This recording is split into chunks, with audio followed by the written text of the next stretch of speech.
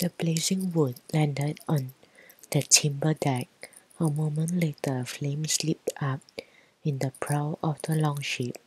Hannah, Jan, and I tossed our blazing torches onto the deck. Within seconds, the ship was alight from stem to stern. Donner's fury knew no limits. He hurled orders to his men. They jump onto the burning ship using their helmets to scoop water from the tunnel onto the flames. Fridtjof jumped onto the tunnel using his gigantic hands to wash water over the long ship. But the fire had too firm a hold. Flames raised up a majestic sail. Soon it was blazing from top to bottom.